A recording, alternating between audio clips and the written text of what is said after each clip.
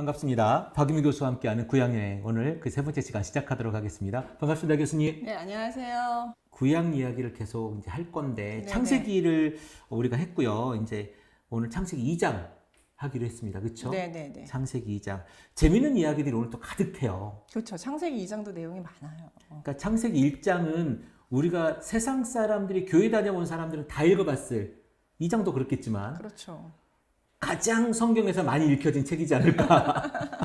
저는 그렇게 생 빈도로 따지면 그리고 가장 중요한 부분이지 않을까라는 생각이 드는데 오늘 어, 창세기 2장의 첫 번째가 하나님이 안식하셨더라 이야기지 않습니까? 네, 그 일곱 번째, 예, 네네. 일곱 번째 날 안식한 얘기죠.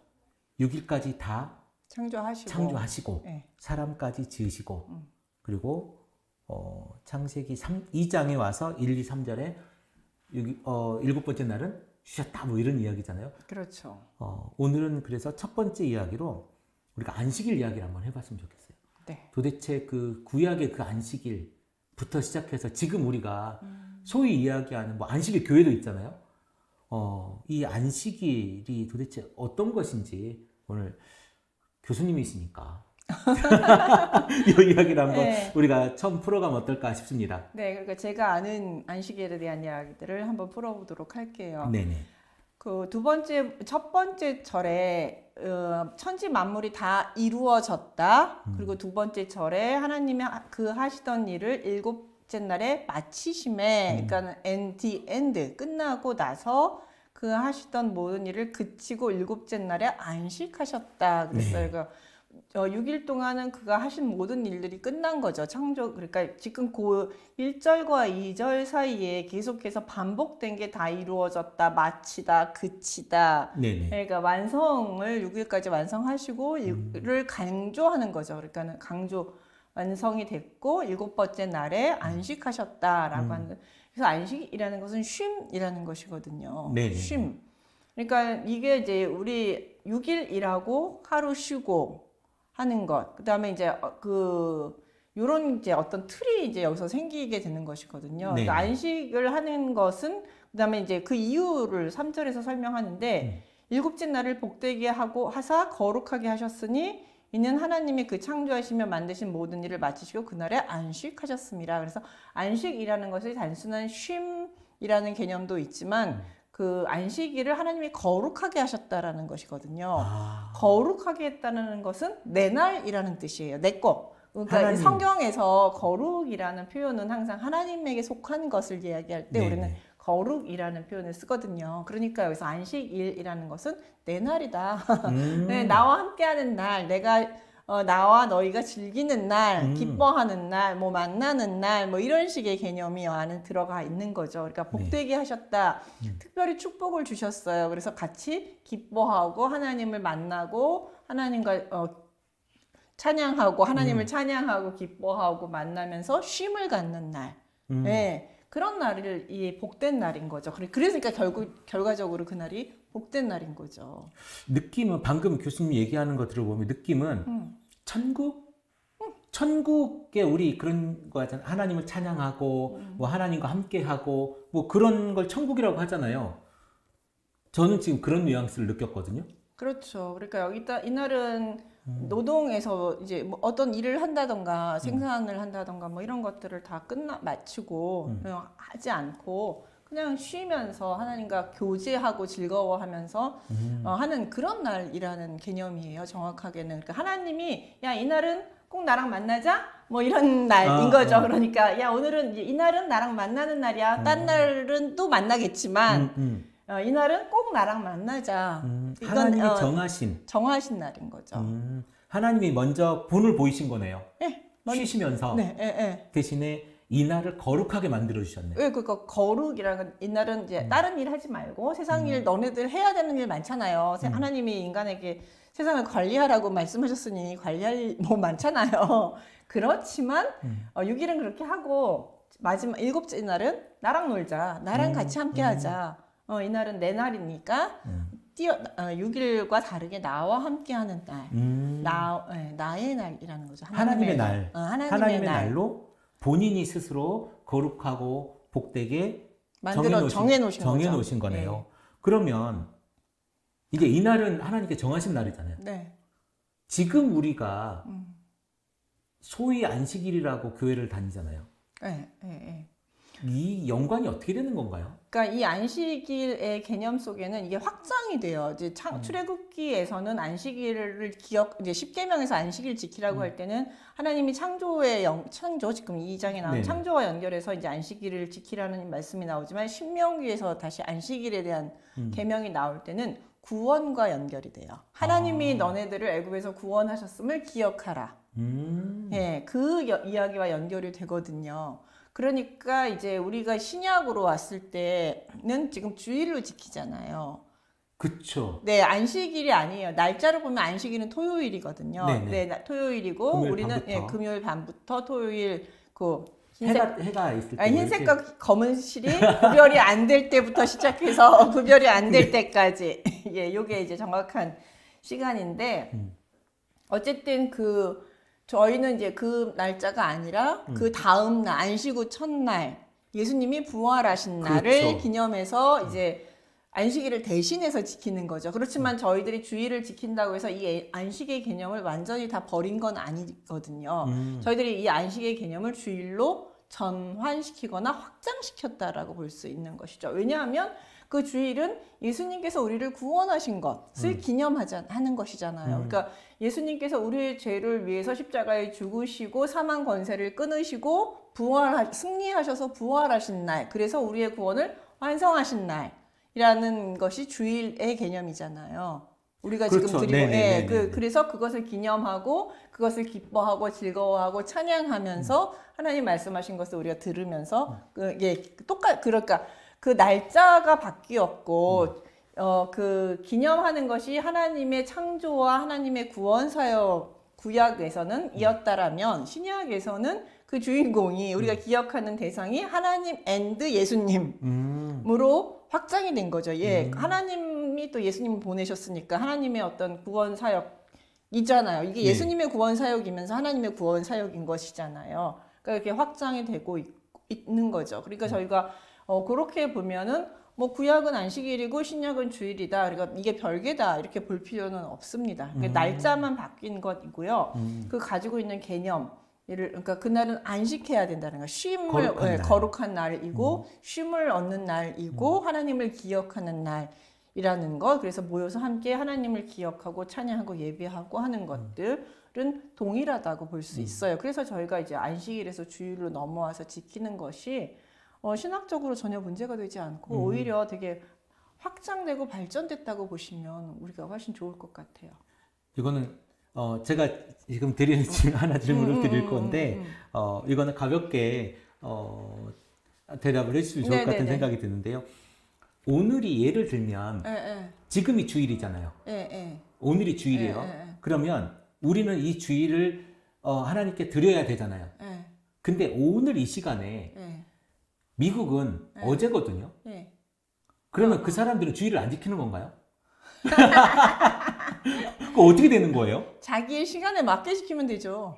그러니까 나 이 시간은 어째 그러니까 이 안식이라고 하는 것이 절대 시간, 아. 절대 시간이면 음. 우리는 안식일을 지키는데 아니면 주일을 지키는데 음. 저 사람들은 안 지키는 걸 수 있잖아요. 음. 그 시간에는. 그쵸? 음.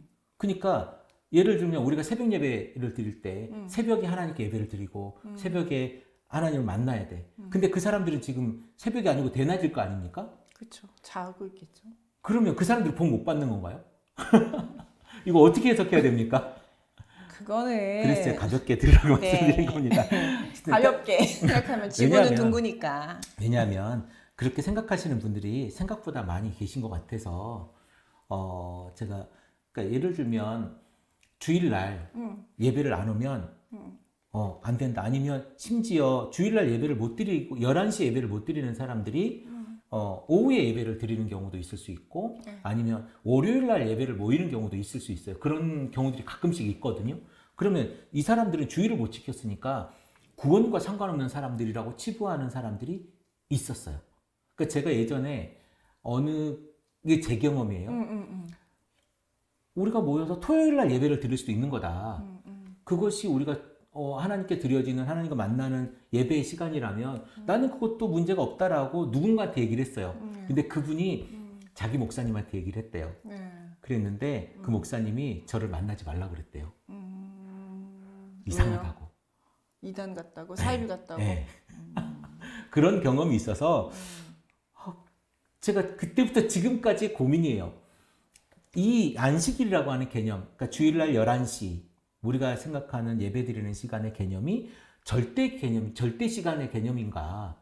아니면 우리는 다 상대에 살잖아요. 인간은 상대적 개념으로 사는 사람들인데 미국 사람들은 그러면 망하나? 뭐 이런 이런 생각들을 제가 하게 되면서 물론 이제 아주 가벼운 생각이긴 하지만 어, 사실은 고민이 안 됐던 건 아니에요. 아 그렇게 되면 이스라엘 시간으로 지내야죠. 그거, 또 그것도 우리나라 11시는 의미가 없어요. 음. 왜냐하면 성경대로 하려면 음. 이스라엘 시간으로 지내야 되는 게 맞는 거 아니에요? 그럼 이스라엘 시간을 절대 아. 시간으로 봐야 되는 거고 음. 그 외의 시간은 시간이 아니라고 봐야죠. 지키려면은 완전히 문자적으로 지키려면 음. 지리적, 환경적 그 모든 게 다 일치하게 지켜야죠. 아니 근데 실제로 11시 예배 성경에 안 나와요. 이런 분들이 있- 있고 제가 직접 경험했던 분이기 때문에 네. 어, 그때도 제가 충격이었어요. 아 이렇게 생각하는 사람들이 있구나. 근데 그 다음에 어. 이제 또 하나 아까 말씀한 이건 이 중요한 개념 중에 하나인데 어, 교회를 다니고 구원을 받은 사람들은 음. 교회를 다니겠죠. 예, 이- 그러니까 구원을 받은 사람들은 대부분 교회를 나오겠죠. 매주 음. 시간에 맞춰서 자기가 예배를 드리고 할 거예요. 근데 교회를 안 나오면 구원을 못 받나요? 교회를 안 다니면 하나님을 믿는데 예수님은 믿는데 교회를 안 나오면 물리적인 교회를 음, 안 음. 나오면 우리가 구원을 못 받나요? 지옥 간다고 많은 목사님들 말씀을 하시죠. 그러니까 우리의 다 구원. 그러니까 우리의 구원이 어디에 달려 있나요? 음. 우리는 고백할 때 신학적으로 고백할 때 뭐라고 고백하면서 그 목사 안수 받을 때 뭐라고 얘기를 했어요? 우리 세례 받을 때 우리의 구원은 어디에 달려 있죠? 예수 달려- 믿는 거에 달려 있는 거죠. 그래서 예수 그리스도를 나의 구주로 입으로 믿는 고박. 네. 믿고 고백하면 그렇죠. 나는 구원 받는다. 나는 천국 간다라고 우리가 네. 신앙을 고백했죠. 예, 그리고 그 신앙 고백을 통해서 내가 그 뭐 목사 안수를 받든 내가 세례 교인이 되든 다 그렇죠. 그렇게 됐잖아요. 네네. 그러니까 우리의 구원이 교회를 물리적 교회를 나오냐 안 나오냐라는 것에 달려 있지는 않다는 거예요. 물론 이제 구원을 받은 사람은 대부분 착실한 크리스찬으로서 교회를 나가죠. 교회를 나가죠. 교회 다니고 매주 예배를 드리기 위해서 애를 쓰고 가능하면 그렇게 하려고 해요. 네네. 그렇지만 우리가 이제 시- 엄격한 신학적 의미에서 교회를 어, 하루 빠지거나 두 번 빠졌는데 너 지옥 간다라고 얘기하는 거는 신학적으로 옳지는 않아요. 왜냐하면 우리의 구원이 내가 예배당을 한번 가느냐 안 가느냐에 달려 있지 않기 때문에 이렇게 되면 행위 구원이 되는 거거든요. 우리의 구원은 행위 구원이 아니에요. 음. 예수 그리스도의 전적인 은혜, 예수 그리스도의 전적인 은혜와 그 구원 의심에 달려 있는 것이죠. 그러니까 우리가 함부로 그렇게 무슨 무슨 행동을 안 하면 너 지옥 간다라고 말을 하는 것 자체가 음. 우리의 구원을 행위 구원으로 말하고 있다는 것과 동일한 거예요. 누구는 뭐 11조 안 하면 지옥 간다고 얘기하거나 뭐 헌금 안 하면 지옥 간다거나 뭐 이런 식의 얘기도 자주 자, 그- 자주 얘기를 하더라고요. 그 근데 많죠. 많죠. 그러니까 우리의 구, 그런 그 구원파잖아요. 행위 구원. 아니 구원파는 아니고 행위 구원. 그 행위고론자죠. 행위 구원 문제잖아요. 근데 우리가 자꾸 그렇게 이제 그러니까 이게 이제 교육하기에는 조금 편하니까 얘기는 하는데 그렇죠? 그러니까 가- 가능하면 교회를 나오는 게 좋다. 교회를 나와라. 교회를 나오는 게 어, 우리 신앙생활에도 유익하고 하나님도 기뻐하시는 일이다. 이제 이렇게 이제 권면을 할 수는 있지만 교회 한두 번 안 나온 데서 너 지옥 간다 이렇게 얘기하는 거는 우리의 구원이 우리의 행위에 달려 있다라고 얘기하는 것과 같은 거기 때문에 좀더 어, 신학적으로 심사숙고해서 그런 그러니까 구원이 어디에 달려 있는지를 자꾸만 얘기를 하는 건 되게 위험한 발상이라는 거죠. 그러니까 조심해야 돼요. 그 사실 교회 안에서 음. 이건 뭐 우리가 이제 구약 얘기다 교회 이야기를 하게 됐는데 교회 안에서 구원과 상관없는 짓을 하는 경우가 특히 이제 목사들이 서- 저도 목사지만 음, 음, 목사들이 이렇게 설교하는 경우가 음. 굉장히 많습니다. 네, 그러니까 되게 네. 위험한 거예요, 그게. 아니 그 위험한 게 아니라 그건 틀린 거예요. 잘못된 예, 거예요. 예, 예, 예. 그렇게 하면 안 돼요. 그런데 그렇게 하는 게 쉽고 쉽고 이 앞에 있는 대중들 내지는 교인들, 성도들 이분들을 두렵게 하기에 너무 재밌는 요소인 거죠. 내가 통제하기에.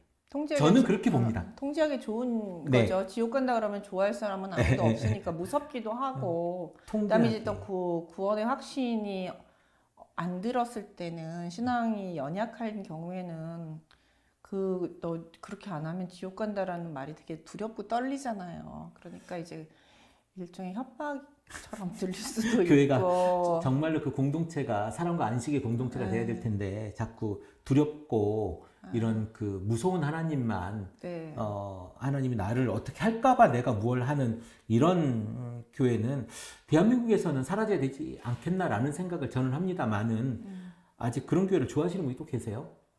그러니까 예. 목사님이 막 이렇게 하는 우리 교회는 뭐 목사님이 힘 있는 교회 뭐 이런 그러니까 사람 성향이 여러 있으니까 음. 뭐 그럴 수는 있는데 그래도 이제 교회가 기본적으로 예를 들어서 뭐 주일날 안, 가, 안 나갔더니 사고가 나가지고 뭐 교통사고가 났더라 그러니까 그, 그 교회 아, 그러니까 하나님한테 벌 받아서 사고 난 거다 이제 이런 식으로 해석을 하는 경우도 봤거든요. 근데 네. 엄청 많죠 뭐 그런 하나님을. 너무 쪼잔하게 만든 건 아닌가 생각을 해요. 내가 무슨 일이 있어서 교회 한 번을 안 갔다고 하나님 그것도 안 봐주시고 바로 직결 심판 내리시는 하나님. 근데 하나님 진짜 쪼잔하신 분일 수도 있는 거 아니에요? 하나님이 정말 쪼 저는요 저, 그 얘기를 근데 몰라 잘 몰라가지고 아니 그게 아니라 그러니까 그 진짜 하나님은 쪼잔하다라고 생각했으면 음. 어김 목사님 지금 이 자리에 살아 있을 것 같아요? 어, 그런가? 겨우 네. 그 예배당 한 번 안 간 걸로 사고를 일으키신 하나님이시라면 과연 김 목사님이 그 여태까지 살았던 그 예배당 한번 안 가는 거 이상의 죄를 한 번도 안 지으셨다고 말씀하실 수 있는지 그럼 김 목사님뿐만 아니라 저도 마찬가지고 그때마다 벌을 받았다면 어, 굉장히 당혹스러운 저는 질문을 네 그러니까 제 저는 이 자리에 살아남지 못했을 것이에요. 네. 네, 그러니까 저희가 그렇게 지금 이 자리에서 우리가 이렇게 얘기도 음, 하고 하나님의 은혜를 얘기할 수 있는 것 또한 모든 게 하나님의 넓고 은혜죠 은혜. 은혜. 네네. 어, 은혜인 거죠. 음. 그러니까 그렇게 하나님을 자꾸만 쪼잔한 사람 만드시면 안- 쪼잔한 분으로 만드시면 안 되고요. 출애굽기에서 하나님 뭐라고 하는 나는 은혜롭고 자비롭고 음. 노하기를 더디하는 하나님이라고 더디- 말씀하시. 그렇죠. 그 은혜 속에서 저희가 살고 있는 거예요. 네. 감사합니다, 하나님.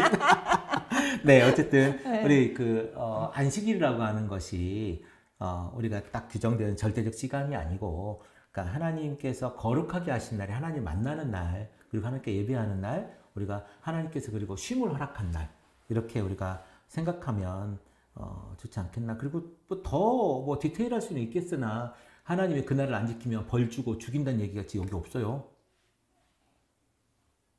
그래서 좀 하나님을 음, 그러니까 평, 평안을 주시는 하나님으로 우리가 만나면 좋겠다 이런 생각을 안식일을 생각할 때마다 제가 늘 해보는 어, 주제인 것 같습니다.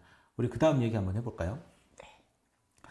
어, 이제 그 이게 되게 재밌는 것 같아요. 저 어, 우리가 지금 1장에서 천지창조를 하나님이 하셨거든요. 네. 7일 동안 하시고 쉬셨단 말이에요. 방금까지. 예, 예, 예, 그 끝났어. 예. 예, 창조 다 끝났죠. 다 끝났어. 다 끝- 그러니까 게다가 거기다 심지어 시기, 시기, 시기 까지 했어요. 어, 완성을 하시고 네. 완벽하게 완성을 하시고 쉬셨는데 다시 천지가 창조될 때에 하늘과 땅의 내력이 이러니라고 성경은 기록하고 있던 거 다시 시작돼. 네, 어, 저는 예전에 네, 네. 제가 30년 전에 음, 신학을 시작했잖아요. 그러니까 신학교를 30년 전에 들어갔는데 딱 올해가 30주년이 되는 해예요.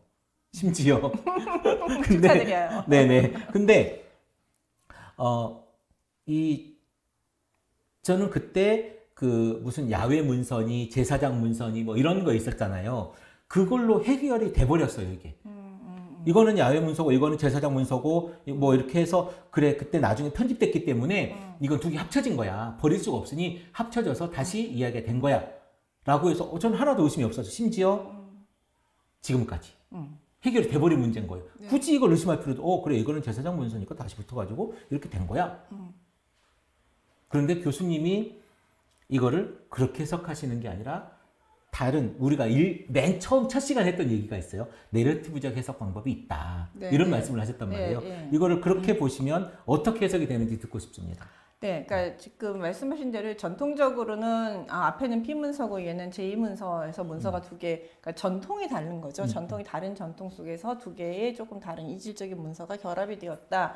이제 이렇게 해석을 하는데 저는 이제 문학 비평 중에서 문학 어 내러티브 방법론이라는 방법론을 써요. 그리고 문학 그 문학 비평은 전제는 뭐냐면 주어진 본문을 가지고 해석한다. 주어진 본문을 최종 본문으로 하고 그 본문의 어, 이전에 그 뭐지 편집의 역사, 음. 예, 그러니까 만들어진 역사, 본문이 만들어진 역사는 우리는 관심을 두지 않겠다. 아. 예, 그러니까 이게 제2 문서인지 이 문서인지 D 문서인지 이들이 어떻게 만들어졌는지는 관심을 두지 않겠다. 다만 지금 최종적으로 만들어진 이 본문에 대해서만 관심을 두겠다. 그리고 이 그 관심을 두고 지금 왜이 1장과 2장이 서로 어떤 역할을 하는지, 어떤 기능을 하는지를 살펴보겠다. 문학적, 그러니까 두 개가 하나만 있어도 되잖아요. 음, 음. 근데 이제 두 개가 놓여져 있거든요. 그럼 두 개가 놓여져 있을 때는 이 사람들도 왜 두 개를 어, 두 개가 있으면 두 개를 놓은 이유가 있겠죠. 같은 이야기를 반복하는 이유가 있겠죠. 네. 반복은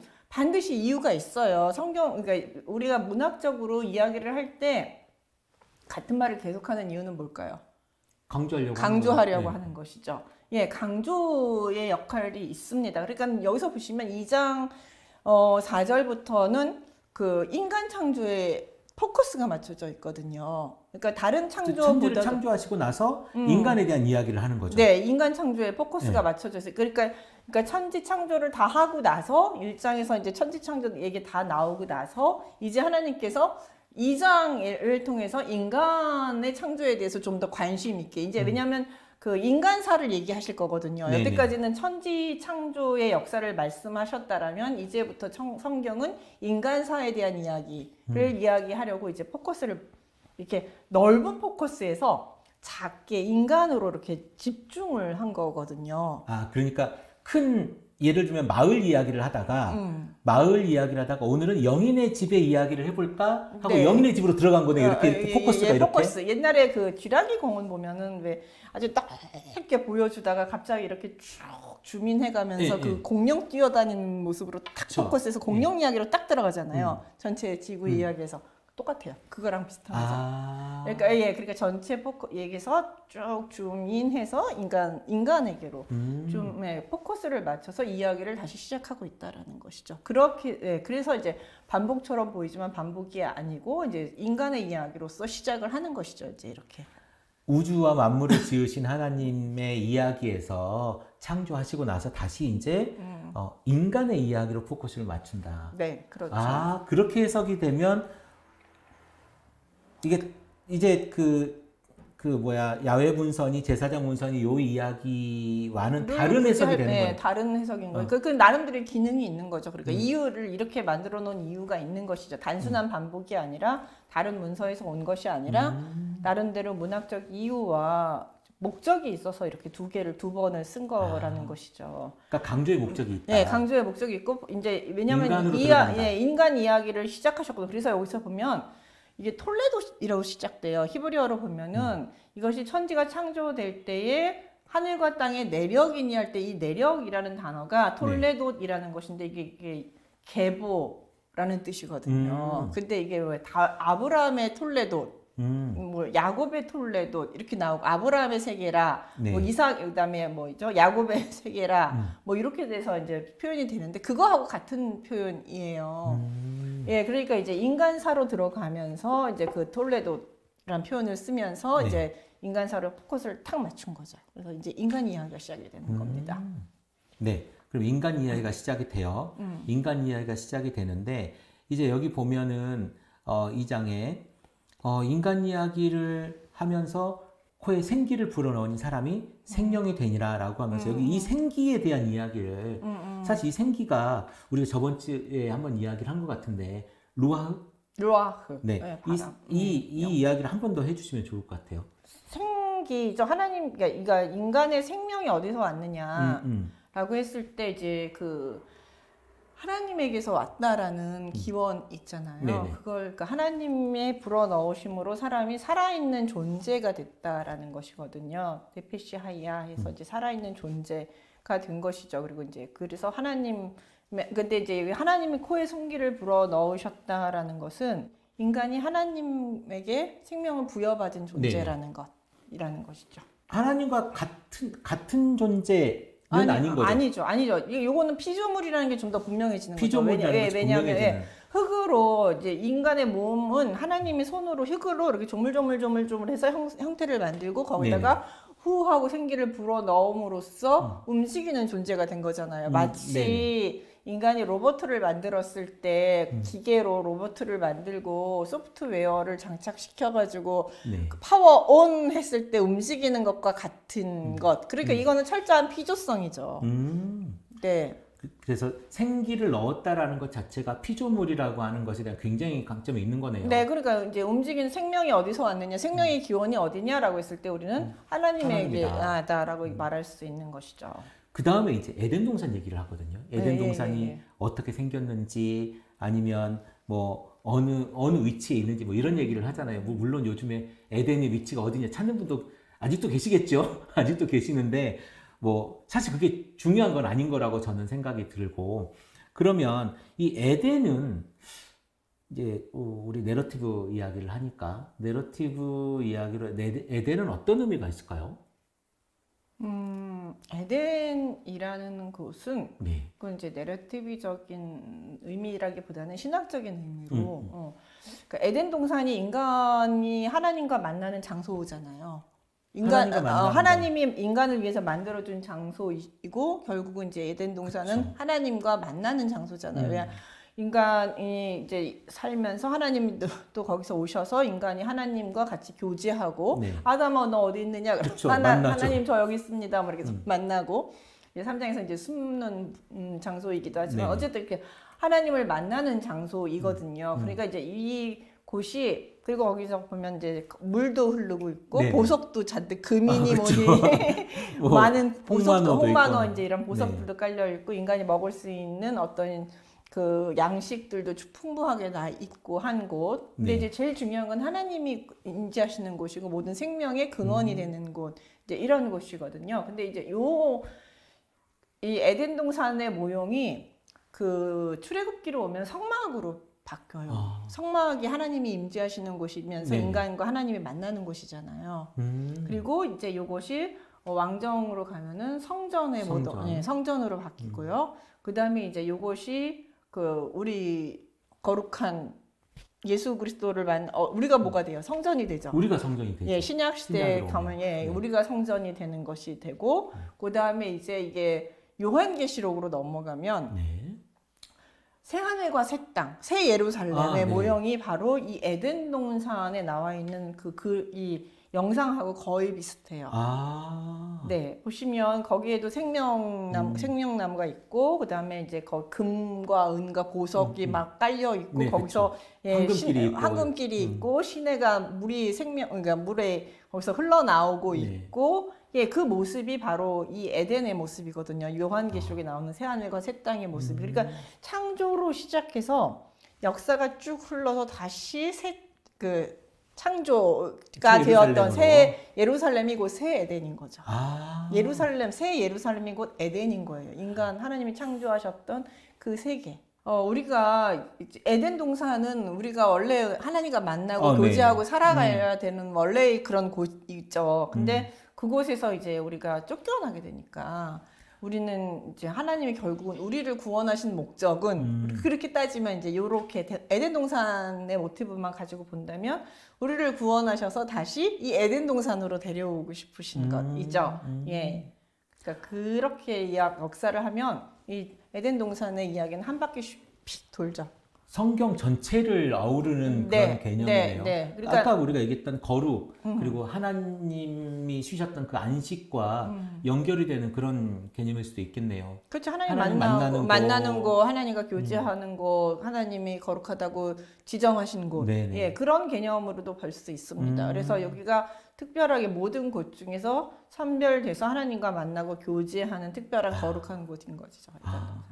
에덴은 우리가 회복해야 될 곳. 그거 회복해야 될 곳. 이거 그때 그것을 우리가 지금 이제 죄로 어쨌든 우리가 못 들어가게 됐는데 쫓겨나게 됐는데 쫓겨났으니까, 예. 다시 회복해야 될 음. 그 장소로 장소인지 아니면 뭐 어떤 것인지 아직 우리는 잘 모르겠지만 성경은 상징적인 곳이죠. 성경은 상징적으로 어. 장소처럼 이렇게 비춰지잖아요.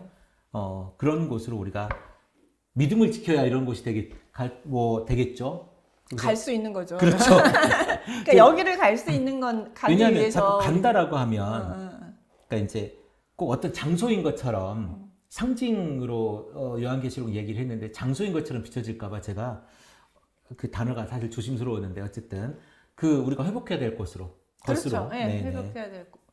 그러니까 우리는 제가 뭐 되게 조심스럽긴 하지만 사실 인간이라는 존재가 시간과 공간을 뛰어넘어 가지고 뭔가를 표현하기는 어려우니까 네네. 그냥 어 장소라고 우리는 해두죠, 해두죠. 해도 네네. 돼요. 왜냐하면 뭐 하여튼간에 뭐 그림을 그려도 장소밖에는 우리가 그쵸. 그림이 우리- 안 우리의 그려져요. 한계. 우리의 한 3인 인간의- 3차원을 사는 인간의 한계예요. 네네네. 예. 아, 네. 그렇게 에덴 동산은 어, 보면 좋을 것 같고 그렇게 시작했다. 그리고 음. 어, 이제 중요한 게 두 가지가 나와요. 하나는 음. 선악을 알게 하는 나무가 나오거든요. 네. 선악을 알게 하는 나무 열매를 먹지 말라. 내가 먹는 날엔 반드시 죽으리라. 이렇게 17절에 나와요. 예. 근데 이게 우리가 이 뒷얘기 다 알잖아요. 음, 음. 뒷얘기 너무나 유명한 얘기가 다 알기 때문에 어, 같이 연결해서 얘기하면 아니 도대체 하나님이 이걸 왜 만들었을까? 이걸 먹을 줄 몰랐을까? 이런 질문을 하게 되잖아요. 안 그러면 내가 지금 에덴 동산에 있을 텐데. 그렇죠. 그 좋은 것에 이 고생 네, 안 네. 하고. 아니 너무 힘들어요 이 세상 살아가는 맞아요, 게. 맞아요. 근데 왜 하나님이 만드셔서 반드시 죽으리라 하셨을까? 음, 아니면 지금 저는 이런 생각도 해봤거든요. 지금의 우리, 음, 지금의 내 존재를 어 그러니까 이게 이제 어이 보통 이야기 스토리가 처음부터 시작해서 끝을 가잖아요. 네. 근데 지금의 내 존재를 맞추기 위해서 이거를 거꾸로 하나님이 음, 음, 음. 어, 만들어 놓으신 거 아닐까라는 생각도 제가 해봤거든요. 왜냐하면 내가 여기 있는데 네, 네. 이 죄악된 세상에 있는 나를 음.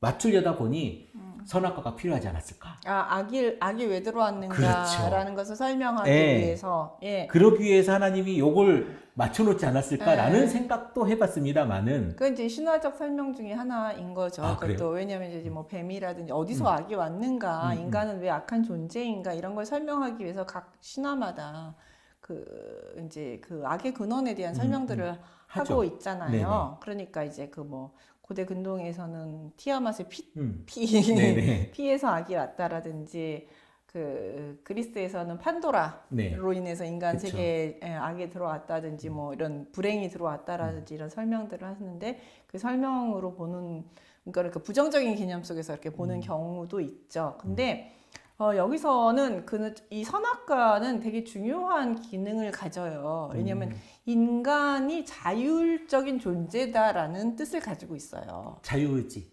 자율, 예, 자유의지가 있다. 그러니까 요즘 음. 우리 신학적 표현은 자유의지라고 표현하죠. 음, 그러니까 음, 음. 인간은 자시, 자기, 그러니까 어떤 하나님의 명령대로 움직이는 로버트가 아니라는 거죠. 먹지 말라 하면 안 먹는 예, 존재가 예, 아니라 아, 아, 예. 그러니까 로버트는 먹지 말라고 입력이 되면 안 먹어요. 왜냐면은 안 먹죠. 안 먹죠. 그, 그 먹으면 에러인 거죠.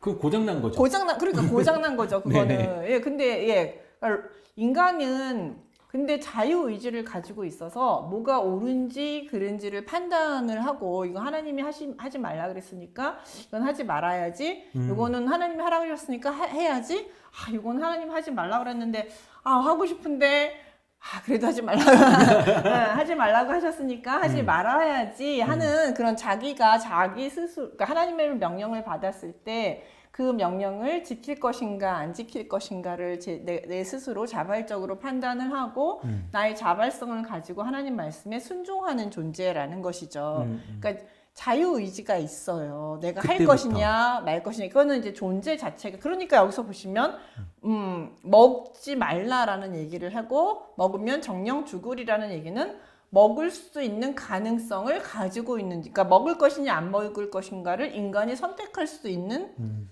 가- 어, 선택할 수 있는 존재라는 것을 전제하지 않으면 이 말이 필요가 없죠. 그쵸, 그쵸. 안 먹으면 돼. 못, 못 먹게 하면 되는 거니까. 예, 나 먹지 마라고 얘기하면 안 먹을 거 아니에요. 음. 로봇은 절대 안 먹어요. 먹지 마라고 하면. 음. 입력이 그렇게 돼 있으니까. 근데 인간은 아니라는 거죠. 먹지 마 라고 하면 아 하나님 먹지 말라고 그러셨으니까 먹지 말아야지 라고 생각할 수도 있지만 사실 오랫동안 그렇게 했을겠죠. 예 상당히 했겠죠. 오랫동안 그렇게 생각을 하고 먹지 네. 않았겠죠. 네, 아, 저거는 그러니까 그러, 그게, 이제 첫 번째 이유예요. 인간이 자유 의지를 가지고 있다라는 거. 그러니까 하나님은 우리가 로버트처럼 내가 명령하면 무조건 어, 듣는 존재로 만드시지 않은 거라는 거죠. 그러니까 의지가 있고 생각이 있고 자신 스스로가 하나님을 섬기는 것을 원하시는 것이지 음.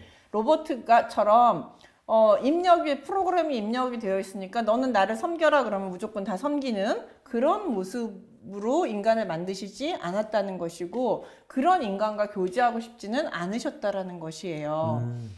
생각을 해보세요. 그 우리 아이들이 나한테 기쁨을 줄 때가 어떨 때예요? 네, 엄마한테 인사했을 때 네, 다녀오셨습니까? 라고 인사를 하는 때가 기뻐요. 아니면 내가 아무 말을 안 했는데도 애가 나를 너무 반가워해서 다녀오셨습니까? 라고 막 기쁘게 반갑게 인사할 때 내가 기뻐요. 그 두 번째가 기쁘죠. 그쵸? 네. 예, 내가 명령해서 시켜서 하는 인사는 어, 그거는 안그 기뻐요. 감흥이 없는 거 아닙니까? 예, 그 그거죠. 훈련이지 훈련. 예, 훈련이죠. 그러니까 네. 그렇게 나중에 이제 물론 나의 의지도 훈련을 시킬 수는 있겠지만 그러나 어쨌든 나의 기쁨은 음. 자발적으로 하나님께 헌신하고 기, 음, 뭐죠 사랑을 배, 어, 보낼 때 하나님에 음. 대한 어떤 영광을 돌리고 할 때 하나님이 제일 기뻐하시는 거고 그게 진정한 교제죠. 하나님은 인간과 교제하기를 원하셨거든요. 음. 그래서 하나님이 인간을 하나님의 형상대로 만드신 거죠. 아, 그쵸. 그, 예, 음. 그러니까 그런 자유 의지가 있는 것이고 또 하나는 선악과를 인간에게 모든 것을 다스릴 수 있는 권한을 주셨잖아요. 네. 그러니까 세상 만물이 다 내, 그렇게 내 발 아래로 보일 수 있겠죠. 음, 음. 그러면 내가 세상의 왕처럼 생각될 수가 있겠죠. 내 맘대로 해도 되는 거. 그렇죠. 예, 근데 막 그러면서 이제 막 그 내가 이제 조금 안, 나쁜 마음 먹어서 저 그 피조물들을 괴롭힐 수도 있고 그렇죠. 내 맘대로 내가 왕이니까. 왕이니까 음. 마음대로 할 수 있잖아요. 근데 선악과를 딱 보는 순간 누가 생각날까요? 자, 하나, 하나 하나 내 위에 누가 있어. 예, 나를 그렇죠. 통제하는 예, 누가 예, 있어. 그렇죠. 내 어. 위에 아 내가 왕이 아니라 하나님이 계시지. 음. 하나 왜냐면 선악과를 막 먹지 말라고 아. 하나님이 말씀하셨어. 음. 그렇게, 그렇게 생각이 되는 순간 아 내가 왕이 아니라 하나님이 진정한 왕이시고 음. 나는 이 세상을 다스리도록 명령받은 피좀 나도 피조물이지라는 생각을 하게 된다는 것이죠. 음. 내 위에 왕이 계시다라는 것, 나의 존재가 피조물이라는 것을 어, 생각할 수 있는 수단이 된다는 것이죠. 그래서 선악과는 반드시 필요했던 것이죠. 어. 음. 그렇군요. 그러니까 어쨌든 자유지가 있음을 알게 하고 음. 그리고 내가 피조물이라는 걸 늘 깨달아라. 음. 이건 또 이것도 가볍게 넘기면 음, 좋은 네네. 질문. 그러니까 어, 사실 아담은 죽음을 본 적이 없는 사람이잖아요. 경험한 적이 없는 사람이잖아요. 예. 근데 하나님은 죽으리라 하셨단 말이에요. 예. 그러면 경험한 적이 없는 아담에게 죽으리라가 어떤 의미가 있었을까 이런 상상을 한번 해봤거든요. 또 나중에 가면 어, 아담에게 이제 결혼을 음. 아담에게 결혼을 시켜주잖아요. 그러면서 부모를 떠나 이런 얘기하잖아요. 아담은 사실 부모가 있지 않잖아요. 음, 음, 음. 이제 그런 이야기들을 부모를 경험해 본 적이 없는 사람에게 부모를 떠나라고 하나님이 이야기했을 때 과연 이거는 성경이 우리에게 주는 어떤 의미가 있을까 이런 고민들을 제가 해본 적이 있습니다.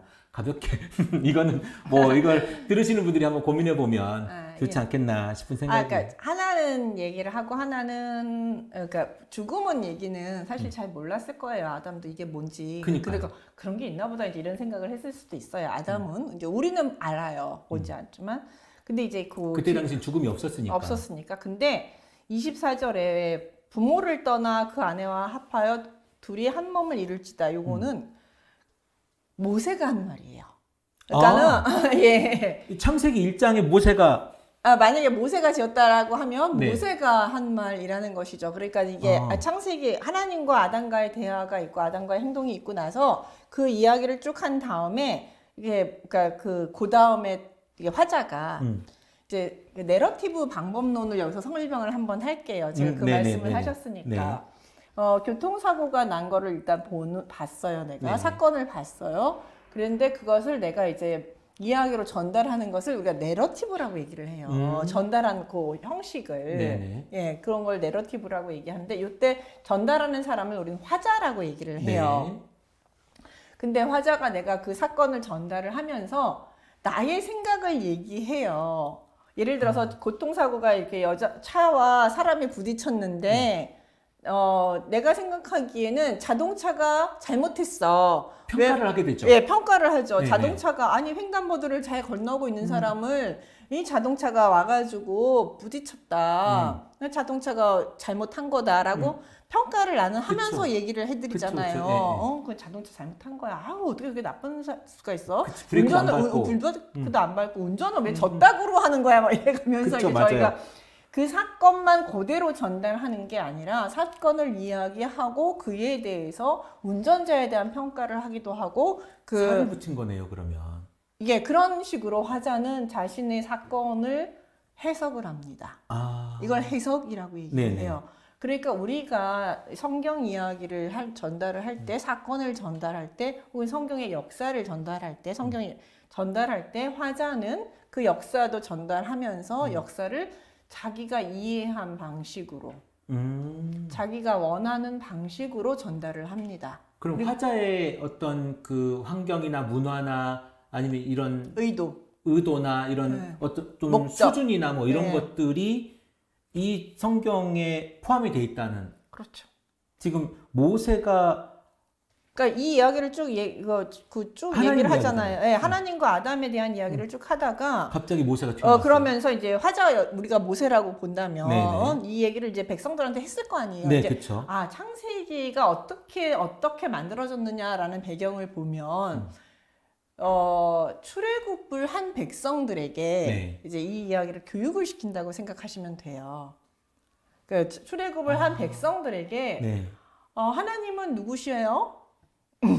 와, 하나 우리를 구원하신 하나님은 누구신데요? 음. 어, 우리는 왜 하나님이 왜 우리는 구원하셨는데요? 아브라함은 누구신데요? 아브라함과 이삭과 야곱의 하나님이라는데 도대체 아브라함은 누구고 이삭은 누구고 야곱은 누구예요? 음. 라고 궁금할 거 아니에요. 우리를 인도해낸 하나님이 누군지. 어, 누- 하나님이 누구신지, 음. 우리는 인간은 어디서 온 존재인지, 우리는 왜 아브라함의 조이 우리의 조상인지, 음. 그리고 하나님은 왜 아브라함의 후손에 대해서 그렇게 특별하게 관심을 갖고 있는지, 그래서 왜 우리를 구원하신 건지 이런 것에 대한 많은 질문들이 있을 거 음, 아니에요. 음, 그렇죠. 네, 출애굽기는 사실은 그런 모든 질문을 갖고 시작하잖아요. 음, 그렇지만 어, 어느 날 갑자기 나타난 모세가 하나님이 너희를 구원하신대 하고서 뜨글글 나온 것과 비슷하잖아요, 사실은.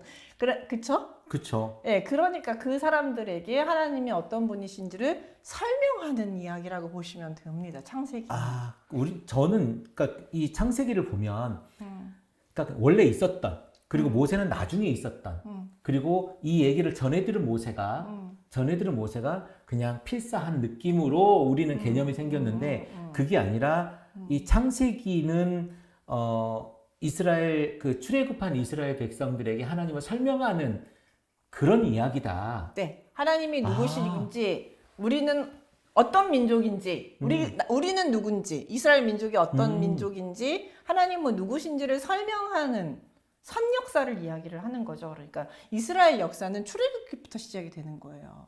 우리는 창세기부터 시작한다고 이제 그렇죠. 우리는 창세기부터 좀 시작하죠. 있으니까. 태초부터 이렇게. 네. 그러나 이스라엘이라는 역사는 그 출애굽부터 시작이 되는 거죠. 아 출애굽하고 시내산이 있고 예, 그러니까 광야 생활이 예, 있고 예, 예. 그다음에 여호수아 때 들어가서 네, 가나안 예, 생활하면서 예, 이렇게 예. 되는 거군요. 네, 그렇죠. 그러면서 이제 광야에서 이제 출애굽을 그러니까 이거 언제 언제 썼겠어요? 차- 출애굽기를. 그러니까 우리가 아주 보수적으로 본다면 음. 모세가 썼다고 본다면 언제 썼을까요? 광야 생활하면서 썼겠죠? 광야에서 만약에 썼다면 썼다면, 네, 썼다면. 광야에서 썼겠죠. 광- 어차피 여기 못 들어갔으니까. 네, 네. 그리고 그 만나기 전에는 모세가 또, 썼다니까 예, 모세가 썼다고 얘기하면 우리는 광야에서 썼다고 볼 수 있는 40년 거죠. 동안 썼겠죠 이게 썼겠죠. 네. 그러니까 그래서 이 과, 이걸 왜 썼을까요? 자신의 민 하나님이 아. 누구시고 하, 자신의 민족이 누군지를 지금 출애굽한 백성들에게 400년 동안 음. 이제 그, 그 갭이 있잖아요. 그 야곱 요셉에서부터 그렇죠. 이제 출애굽한 이스라엘 민족까지 400년의 갭이 있는데 음, 다 잊어먹었을 거 아니에요. 다 이제 그냥 그 이집트 자자- 사람이죠 뭐 네, 그리고 자잘하게 알기도 조금씩 조금씩 알기는 했는데 자세히는 잘 모를 거 아니에요. 그러니까 이제 그 역사를 다 모세가 그 백성들에게 설명을 해주는 것이죠. 음. 그렇게 보시면 시작은 출애굽기부터 시작하면서 창세기는 이렇게 거슬러 올라가서 이야기를 한 거고요. 그다음 출애굽기부터 이제 이스라엘 역사가 정방향으로 가는 거죠. 훨씬 창세기에 대한 이해가 확 그 차원이 달라진 것 같아요. 우리는 인간 창조의 어떤 그 어, 모습을 우리에게 보여주는 책으로 우리는 이해를 했는데 그게 아니라 이스라엘 백성들에게 하나님이 누구냐를 알려주는 책이다. 그렇죠. 하나님이 아. 누군지 이스라엘이 누군지. 아 우리게 우리가 아주 저- 보수적으로 했을 때 모세가 썼다고 얘기하잖아요. 네. 그럼 모세가 쓴 거 썼으면 언제 썼느냐면 출애굽 이후에 아, 그렇죠, 썼다라는 그렇죠, 게 그렇죠. 합리적인 아니, 생각이잖아요. 그쵸, 정확한 거죠. 모세가 네. 썼으면 그 전에는 못 썼을 거니까. 그렇죠. 그렇죠. 아, 네. 근데 이, 이, 그 화자, 모세 이야기꾼인 거죠. 말하자면. 네, 이야기꾼. 전해주는 이야기꾼의 이 평가와 그, 어, 어떤 이야, 전해진 이야기가 여기에 이렇게 들어갔다. 네, 의견이 코멘트, 들어갔다. 예, 코멘트가 들어간 거죠. 그러니까 아. 이제 그 아담이 하와를 만난 장면을 딱 보, 이야기를 한 다음에 이렇게 돼서 결혼이라는 게 생겼고 어, 남자가 부모를 떠나 그 아내와 합하여 둘이 한 몸을 이룰지라. 그러면 굉장히 그러면- 현장성 있는 문장이네요. 어, 그럼요. 그러니까 예전에 있었던 그런 어떤 아주 그 우주를 창조하신 그 느낌이 네, 아니라 네, 네. 이게 훅 땅으로 내려와가지고 네. 우리에게 확 적용되는 문장이네요, 이게. 그럼요. 그러니까 이제 아. 사람 대상이 있는 거죠. 이야기를 하는 대상이 있는 거고. 음. 어, 그렇게 해서 이렇게 아담과 하와가 만들어졌고 결혼이라는 것이 생- 그러니까 최초 인류가 만들어졌고 둘이 결- 사랑해서 결혼을 하게 됐다. 음, 음. 라고 얘기해놓고 그러니까 인간이 결혼을 할 때는 부모가 남자가 부모를 떠나서 아내와 합해서 한 몸을 이루는 거다. 그게 바로 결혼이다. 이렇게 얘기를 하는 거죠. 왜 여자는 안 떠나고 남자만 떠나라 그럴까요? 남자 남자가 부모를 떠나 아니 남 남자네 집이 부자면 안 떠나는 게 좋은 거 아닙니까? 그러니까 이게 이 구절도 사실은 네. 좀, 좀 뒤죽박죽이긴 하지만 네. 음. 어쨌든 요 구절만 제가 설명을 하자면 이것도 그 가부장적 사회 속에서 나오기 어려운 문장이에요. 그러니까요. 왜냐하면 남 여자가 다- 결혼을 할 때는 여자가 자신의 집을 떠나서 남자 집으로 들어가는 게 그 당시 풍습이에요. 슬로보아트의 그 딸들 이야기하면 심지어 여자들은 재산도 못 받잖아요. 예, 그러니까 재산, 남자들한테 예, 재산을 예, 예, 물려받는 그러니까. 가- 재산을 가지고 들어가게 되는 건데 어쨌든 그렇게 그런 시대 속에서 그러니까 여기 이제 여기서 핵심이 있는 거예요. 그러니까 그렇게 부인 남, 그러니까 그 당시 시대가 가부장적 시대는 그렇죠. 남자는 자기 가족과 딱 붙어 있는 상태이고 여자는 그 자기 먼 가족에서 끊어져서 이제 이 집으로 여기로 들어와서 남자와 결합을 하게 되는 거잖아요. 그러니까 그런 본질을 보면서 남자와 부모의 관계가 끊어지지 않는 한 음. 원가족과의 관계가 어느 정도 거리가 되지 않는 한 이 둘이 단단하게 결합될 수 없다라는 본질을 확실하게 깨달은 거죠. 그러니까 부부의 관계의 본질, 가족이란 아. 무엇인가, 가정이란 무엇인가에 대한 본질을 그 시대를 초월해서 여기서 설명을 하고 있는 거예요. 이건 시대를 초월하고 있어요. 부부의 본질이군요. 부부의 본질이에요. 아, 굉장히 심오한데요, 이거 지금. 네, 왜냐하면 아. 우리가 가부장 사회 우리도 지금 결혼도 보면 아직도 음. 부부가 한 몸을 이루는 거리라고 결혼을 하, 보지 않고 음. 여자가 자기 집을 떠나서 남자 집으로 들어가는 걸로 결혼을 봐요. 시집. 시집 간다라고 음, 음. 얘기를 하는 거죠. 근데 여기는 안- 남자는 안 떠나거든요. 자기 집을 안 떠나요. 그러니까 안 떠나잖아요. 음, 엄마랑. 아빠랑 음. 그, 그 셋이 이렇게 살던 집에 여자만 딱 들어와 음. 오잖아요. 그래, 예. 근데 그런 구조 속에서 이게 부부가 한 몸이 될 수가 없는 거죠. 그러니까 이 시대에는 굉장히 파격적인 그 구절인 거네요. 지금 우리 사회도 파격적이에요. 이게 이 구절이 그래서 제가 어떤 얘기를 들었냐면 음. 어, 이게 이제 한 10년 전쯤에 어떤 목사님이 한 얘기인데 어떤 분 어떤 남자분이 나는 이것 때문에 이 구절 때문에 교회를 못 나오겠다 그랬대요. 왜냐면 나는 부모님을 모셔야 하는데 음. 부모를 떠 남자가 부모를 떠나야 합하여 한 몸을 이루라. 나 그럼 부모를 떠나라는 얘기냐? 나는 불효자가 될 수 없다. 그러니까 나는 교회를 나올 수 그런 없다. 얘기가 아니잖아요.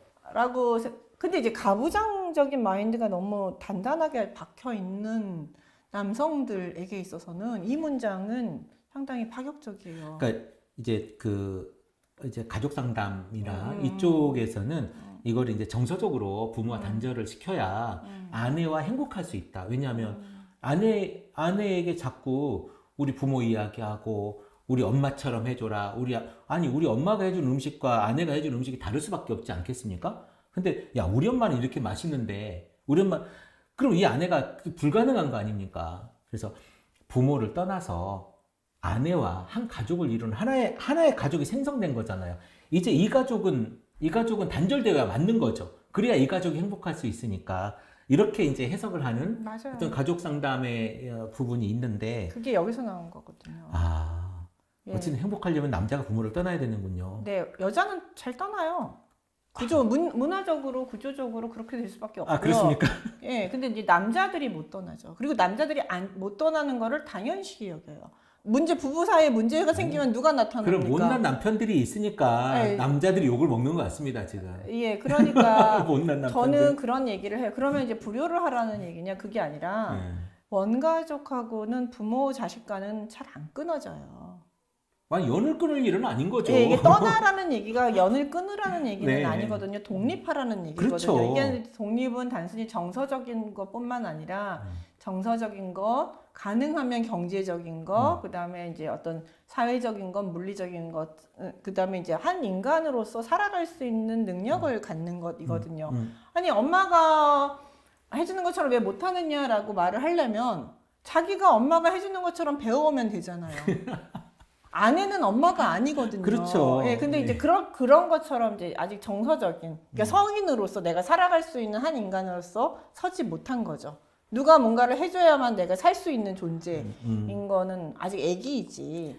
그 그렇죠. 결혼할 수 있는 상 네. 존재는 아직 아닌 거죠. 그러니까 이제 그런 부모가 떠나라는 얘기는 그렇게 독립적인 존재이면서 성숙한 존재가 되는 것이고 그래서 떠난다 떠나면 아내와 합하여 둘이 한 몸을 하나라는 거예요. 이건 하나 다 들러붙다라는 거거든요. 뗄래야 뗄 수 없는 존재가 되는 건데 자꾸 이쪽 이제 남자 쪽에서 자꾸 이렇게 부모가 끌고 여자 쪽에서도 이쪽 부모가 막 끌어당기면 그럼 이혼 둘이 못 살아요 그러면. 예, 그럼 이렇게 끊어져요. 근데 네. 이제 착각을 하는 게 뭐냐면 둘이 결혼을 하면 이 둘 사이는 절대 안 끊어질 거라고 생각을 해요. 이게 착각이에요. 음. 그러니까 부모들이 자꾸 이제 내 아들 아들한테 집착하고 딸한테 집착하고 어, 며느리 못 살게 굴고 아, 사위 못 살게 굴고 뭐 이렇게 하- 하면 해도 얘네들은 절대 안 끊어질 거라고 부모들은 생각을 해요. 결혼시켰으니까. 결혼을 했으니까.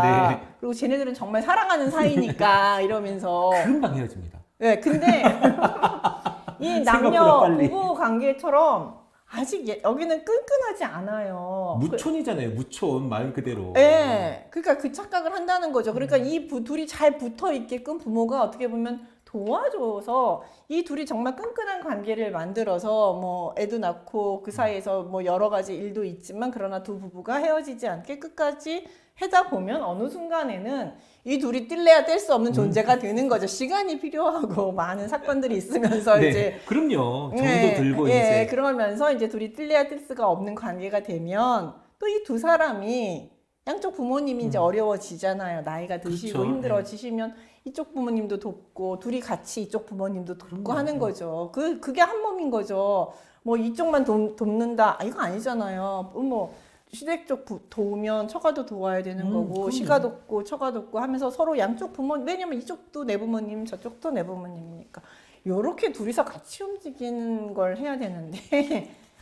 그게 안 되는 거죠. 우리 갑자기 결혼 상담 얘기로 넘어갔어요. 그러니까 지금 그렇게 뭐 이렇게 흘러가서 근데 되게 저는 이 창세기 2장에서 인간에 대한 이야기를 하잖아요. 인간이 어떻게 살 것이며 또 여자가 어떻게 만들어졌으며 둘이 이제 또 음, 그 여자라고 만들고 그리고 또 결혼을 시키고 이러면서 이 얘기를 하면서 요 얘기가 사실은 어 저는 굉장히 중요한 얘기다. 물론 방금 저도 그 모세가 했다는 이 이야기를 어 다시 들었습니다만은 굉장히 중요하기 때문에 이 얘기를 넣겠죠. 하나님과의 그럼요. 이야기 중에서. 예, 예, 예. 그래서 저는 이 이야기는 어, 굉장히 중요하다. 왜냐하면 저는 교회가 가정이 행복해야 교회도 행복할 수 있다. 왜냐하면 공동체이기 때문에 관계 공동체잖아요.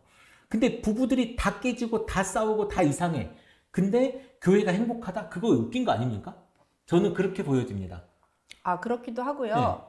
그다음에 이제 이게 부부 얘기를 하니까 이제 제가 여기 좀 더 넘어가서 그 앞부분부터 제가 하나씩 하나씩 얘기를 할게요. 음, 하나님이 이제 아담이 혼자 있는 걸 사, 사람이 혼자 있는 게 좋지 않다고 말씀하셨죠. 이게 이제 싱글이 나쁘 싱글로 사는 것에 대한 비판이 아니라 여기서 아담 혼자 존재하잖아요. 남성 혼자 존재하는 것이잖아요. 여기서 근데 사실은 남성 혼자 존재했을 때는 음. 그것으로 전부였죠. 이게 하나님 보시기엔 창조가 완성이 안 된 거예요. 하나님 보시기. 예, 왜냐하면 인간이란 존재는 남성과 여성으로 이루어졌잖아요. 그쵸. 그게 완성된 존재잖아요. 예, 근데 남자 혼자 있는 것 음, 자체는 좋- 아직 완성이 다 안 됐어요. 음, 완성이 좋, 다 되지 않았기 때문에 좋지가 않아요.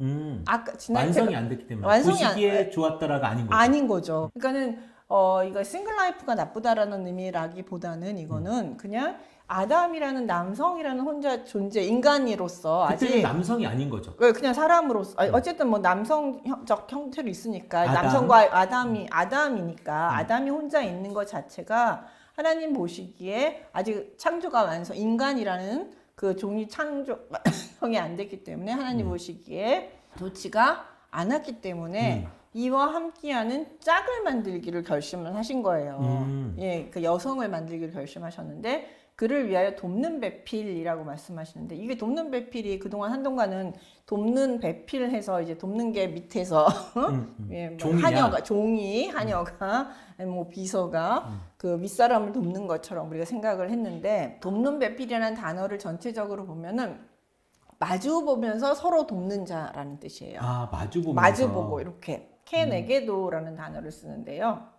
이렇게 서로 마주 보는 자예요. 음, 그러니까 위에도 있는 게 아니고 동등하게 아래에 있는 것도 아니고 서로 동등하게 서로 마주 보면서 아. 돕는 자라는 뜻이에요. 음. 근데 여기서 돕는 거는 힘이 약한 사람이 힘이 센 사람을 돕는 게 아니라 힘이 센 사람이 힘이 약한 사람을 도와주는 거예요. 예를 그 음. 성경에서 제일 이 돕는다는 표현을 제일 많이 쓰는 사람이 하나님이세요.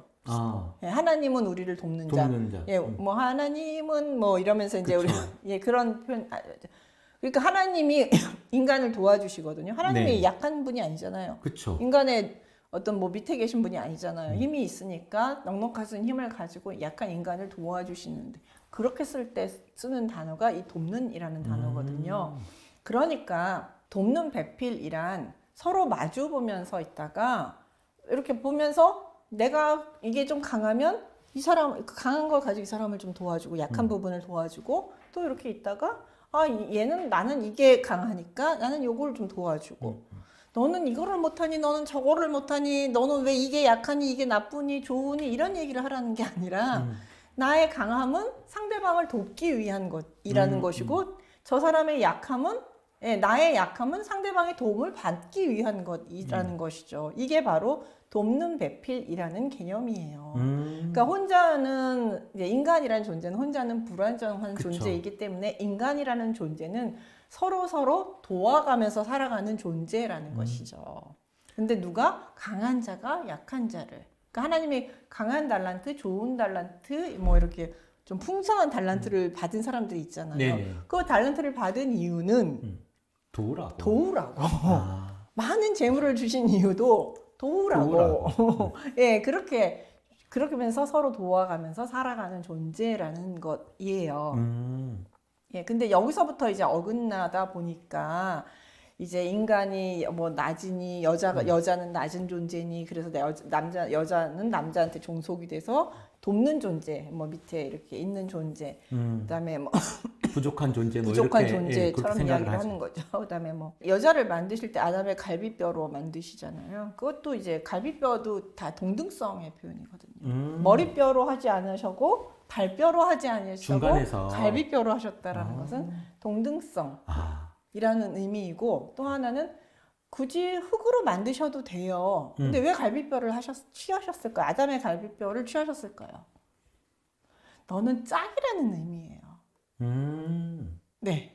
짝이다. 짝, 짝. 음. 이라는 것. 예, 너- 그러니까 그 여성에게 남성의 한 부분이 있, 으니까 그걸 네. 보면 보면서 나 아담이 아, 내 짝이네, 내 음, 거네, 음. 나내 뼈 중에 뼈요, 내 살 중에 살이 음. 돋다라고 외칠 수 있는. 네네. 예, 여태까지 많은 짐승들을 봤을 때 거기서 짝을 못 찾았거든요. 이름은 지어줬는데 쭉 보면서. 이름을 얘도 아니야, 쟤도 아니야, 쟤도 아니야 이러니까 이제 뭔가 짝을 찾았겠죠. 네, 그래 찾, 찾는 과정을 주셨어요 하나님이 음, 옳- 옳지 않다고 생각을 했지만 아담이 이렇게 쭉 그 짐승들 가운데서 찾을 수- 이름을 지어가면서 자신의 짝을 찾을 수 있는 시간들을 주셨어요. 아니라는 걸 알게 하기 위해서 알고 난 그걸 깨달은 다음에 하나님이 잠을 재우시고 그 뼈 중에 하나를 빼서 하와를 만드시고 음. 만드신 거죠. 그를 딱 네. 보는 순간 어 저는 내뼈 중에 뼈, 내살 중에서 어, 쟤내 거야, 나랑 짝이야. 이제 음. 이런 개념으로 하나님이 갈비뼈를 취하신 거죠. 여자와 남자의 갈비뼈 차이가 있다고 해서 개수의 차이가 있을까요?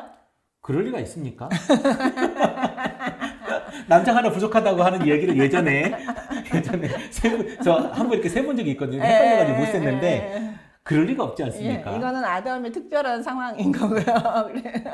그러니까 이건 어떤 그러니까 말하자면 진짜로 갈비뼈를 어, 아담에게 빼서 했으면 아담은 하나 부족했겠죠. 음, 아담 근데- 자체는 부족했겠죠. 네, 근데 사실은 우리에게 이제 상징으로 이렇게 얘기해 주는 것이 아닐까라고 저는 그렇게 그냥 네. 해석을 합니다. 예, 그러니까 그게 바로 그거예요. 아, 내 짝이구나. 음, 내 거, 우리 우리가 한 세, 세트구나. 세트죠. 우리가 쉽게 말- 쉽게 말하면 우린 세트예요. 만약에 남자 갈비뼈 왼쪽에 하나 없었다면 네, 네. 아주 이 이야기가 굉장히 신빙성 있고 정말 이게 오 팩트야 뭐 이렇게 할 텐데. 우리가 이제 어쨌든 하나님께서 우리에게 주시는 네, 네. 의미와 메시지를 해석하는 게 네. 중요한 거니까요. 그러니까 이게 참 되게 긍정적이고 지금 유쾌하고 좋잖아요. 네네. 그쵸? 그거 보니까 딱 눈 떴는데 보니까 음. 너무 어, 내 짝이 여기 있어. 내, 나랑 세트인. 그게 너무 기뻤죠. 아담이. 그러니까 어, 발견하면서 기뻐하고 좋았어요. 음. 네, 그러니까 이게 어최초의 시라고 얘기를 해요. 그래서 아, 요내뼈 이는 내 뼈 중에 뼈요, 살 중에 살이라. 최고 중에 초고니까. 예, 아. 요거를 나, 어, 나가 가장 가까운 사람이라는 음. 뜻으로 최초의 시라고 우리가 얘기를 아, 합니다. 사랑시네요. 사랑시. 사랑시죠, 사랑시. 야, 너는 내뼈 중에 뼈, 요 살 중에 살이 최고다. 어, 나, 내, 나에게서 나온 최고다. 그러니까 이렇게. 나와 한 몸이에요. 네가 나고 내가 너예요. 우리는 부부는 이런 존재라는 거. 그러니까 여기 둘이 한 몸, 합하여 한 몸을 이룰지라. 그러니까 부부란 존재는 성경에서 말하는 부부란 존재는 내가 너고 내가 당신이 나인. 성경을 안 읽어본 사람은 있을지라도 창세기 1장과 2장을 한 번만 읽은 사람은 없을 거거든요. 음, 음. 근데 이걸 이렇게 본 사람도 없을 것 같습니다. 아 요즘은 그렇게 요- 많이 보고 있는데 저만 그렇습니까? 요즘은 많이 보고 있습니다. 네네. 아 그래서 그 다음에 이제 왜 이렇게 서로 뼈 중에 뼈, 살 중에 살이라면서 이렇게 행복하고 기쁠 수 있었느냐 음, 음. 하면 아담과 그 아내 두 사람이 벌거벗었으나 부끄러워하지 아니하였다. 요게 음. 핵심이에요. 아, 부끄러워하지 아니하였다. 네, 왜 부끄러워하지 않았을까요? 왜 언제 부끄러움을 느껴요 인간이? 그 벗었을 때 부끄럽죠. 선악과 따먹은 네, 다음에 네, 부끄러움을 네, 네, 느끼잖아요. 네, 네. 다 같이 벗고 산다 그러면 부끄러울까요? 목욕탕 가면 안 부끄럽잖아요. 저요? 네, 벗었다고 했을 때도 목욕탕 가면 안 부끄럽잖아요. 그쵸. 다 벗었으니까. 네. 그러니까 인간이 부끄럽다라고 느끼는 감정을 저는 언제 우리 어, 알았느냐 하면 우리 딸을 키우면서 음. 우리 딸이 이제 잘 먹어가지고 네 살 때쯤 이렇게 배가 통통했어요. 네네. 그러니까 어른들이 자꾸 매겨. 배가 아니 아니야 자꾸 애 배를 탁탁 만지면서 음. 배가 너무 나왔다고, 나왔다고, 너무 어. 많이 너무 먹은 거 아니냐 이렇게 이렇게 배가 통통해서 여자애가 이렇게 배가 통통하게 나와도 되느냐 음, 뭐 음. 이제 이런 식의 얘기를 몇 번을 들은 거예요. 음. 그랬더니 애가 갑자기 그 자기 배를 막 가리는 거야. 어. 옷 같은 것도 이렇게 배를 가리는 옷. 네 살짜리가. 네 살짜리. 네, 배를 가고 배 자기는 배가 제일 밉대. 그러면서 배를 음. 가려야 된대. 음. 그왜 그런가 봤더니 이제 어른들이 배가 자꾸 뭐라고 하니까. 뭐라고 하니까 부끄러운 거예요. 걔도 음. 그게 스트레스가 되는 거예요. 그래서 배를 가려야 된다고 하면서 되게 위축이 되더라고요. 음.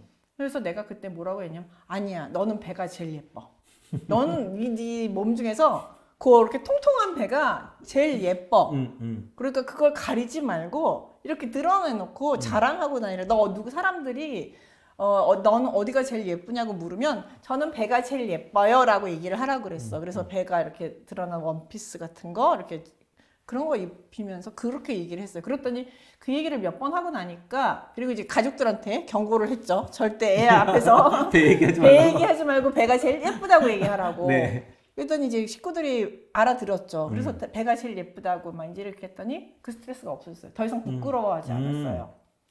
부끄러움이란 지적질에서 시작이 된다는 거죠. 음. 네. 그러니까는 아담은 완벽한 인- 남성이었을까요? 하와는 아주 완벽한 흠이 하나도 없는 완벽한 인간이었을까요? 뭐 피조물이란 완벽하지 않. 어, 대부분 참. 아마 아마 완벽했을 거예요. 그렇지만 음. 흠 잡을 흠을 잡으려면 잡을 수 어- 있을까요, 없을까요? 있겠죠.